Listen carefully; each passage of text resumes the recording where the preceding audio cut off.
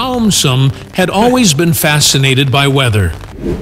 But one day, while reading about planets in the solar system, he stumbled upon something that made Earth's storms seem like gentle breezes. It was called the Great Red Spot, and it lived on the planet Jupiter.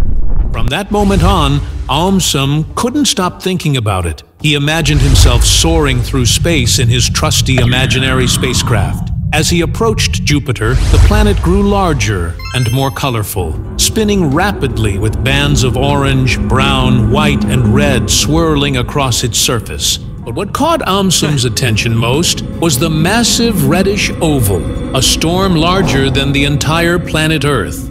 In his imagination, Aumsum hovered safely above the storm, looking down at its wild, spinning clouds.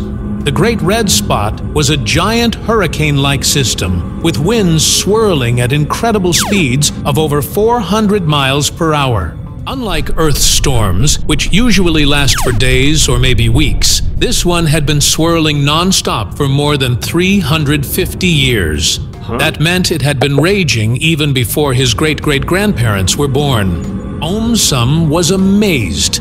How could a storm last that long? He remembered reading that Jupiter doesn't have a solid surface like Earth. It's made mostly of gas, which means storms can move freely without crashing into land. That, combined with Jupiter's fast rotation, helped fuel the giant storm and keep it going for centuries. The Great Red Spot had shrunk a little over time, but it was still big enough to swallow Earth whole. He imagined what it would be like to drop a weather balloon into the storm measuring wind speeds and cloud layers as the instrument danced through the churning gases. Aumsum pictured robotic probes diving through the storm, sending back data and pictures, trying to understand the secrets of this mysterious red giant.